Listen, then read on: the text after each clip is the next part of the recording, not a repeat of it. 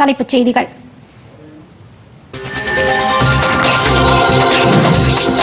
தமிழ்நாட்டில் கனமழை பெய்து வரும் மாவட்டங்களில் எடுக்கப்பட்டு வரும் முன்னெச்சரிக்கை நடவடிக்கைகள் குறித்து காணொலி காட்சி வாயிலாக இன்று ஆலோசனை நடத்தினார் முதலமைச்சர் மு ஸ்டாலின்.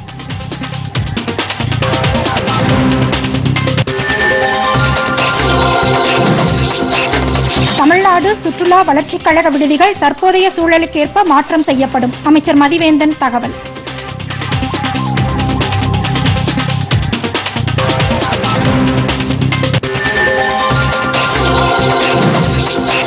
தமிழகத்தில் மக்களை தேடி மருத்துவம் திட்டம் சிறப்பான வரவேற்பை பெற்றுள்ளது. அமைச்சர் ஆர். காந்தி.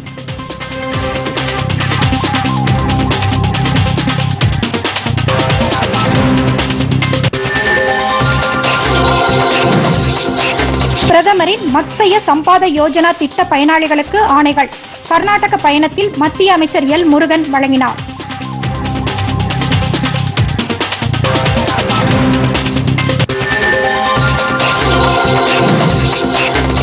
கேரளாவில் கனமழை. நிலச்சரிவுகளால் ஏற்பட்டுள்ள நிலைமை குறித்து முதலமைச்சர் பினராயி விஜயனிடம் கேட்டறிந்தார் பிரதமர் நரேந்திர மோடி.